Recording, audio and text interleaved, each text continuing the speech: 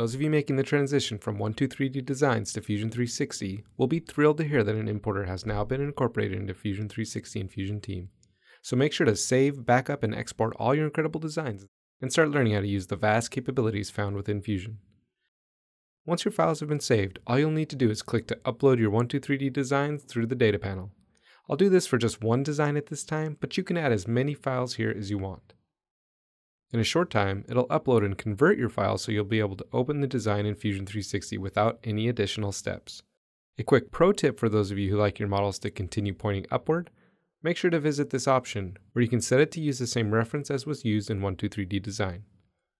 When you're done, I'll do something I think every 123D Design user will love.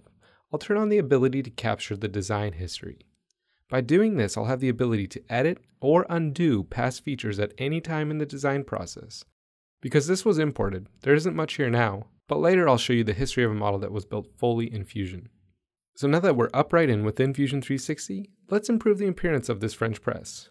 I'll access the appearance options by pressing A, and search for a material to apply, starting with plastic.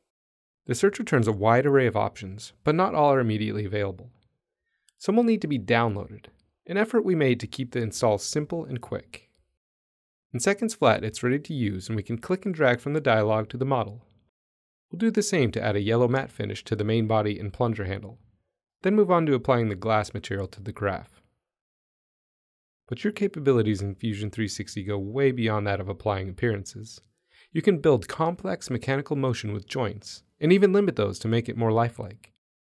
You can create assembly and disassembly instructions by leveraging the animation workspace, this simple to use timeline approach enables the freedom to do things like move parts, hide and show components, and alter camera view orientations.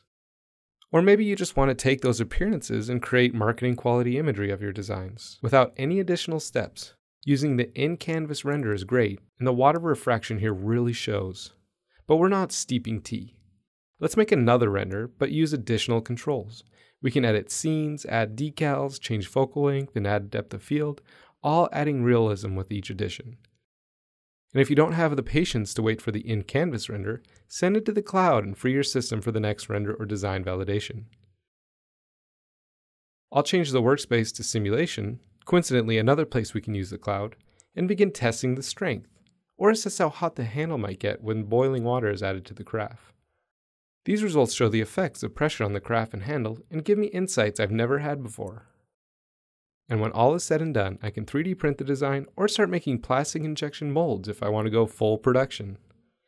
This version of the French press was made directly in Fusion, and to gain insights on how it was built, I can, and you can, play through the steps in the timeline. In the data panel, where we access our designs and projects, I can gain deeper understanding of the history of my Fusion design. That's because every time I saved, a new and more importantly, a recallable version is added to this list. And if I open this in the web by clicking here, I can see other details related to this design, take my collaboration light years ahead by creating share links or live reviews, or simply invite others to add markups. They can do this from across the globe because this data is accessible from anywhere and any device. Come see how Fusion 360 will enable new capabilities for every step of your designs, no matter how big or small.